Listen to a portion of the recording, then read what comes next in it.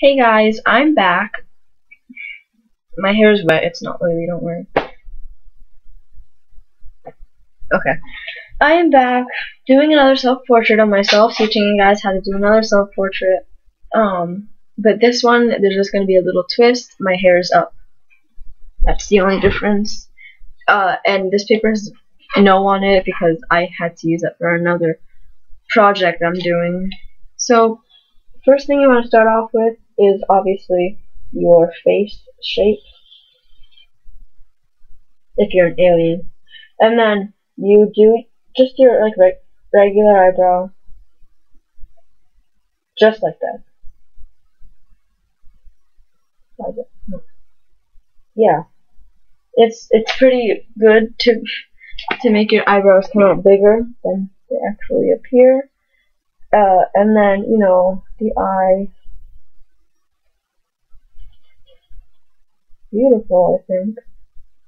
Other eyes. Thank you. And then you just get the bottom of the nose.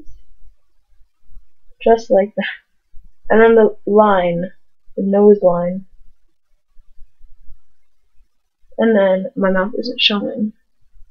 What, what should I do with my mouth?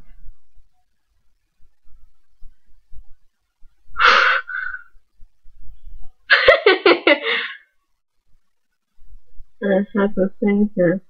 No, no, no, no, no, no, no, no, I need, I have a mark on my face. There we go. Okay. And I mean, uh, this is a good way to do some abstract work. Uh, you know, you can be the next Pablo Picasso. Uh, and then uh, just like capture the essence of the hair. One. Oh.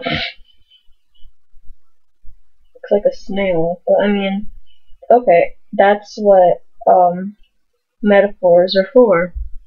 Didn't make any sense, but just look. look if you look a bit closer at it, you can see it's really good. It, it you know, if you glance at it, it kind of looks like he or she is wearing a sombrero. But the secret that only you will know is that the person is wearing a bun.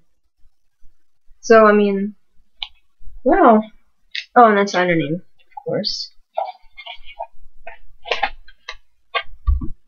Thank you.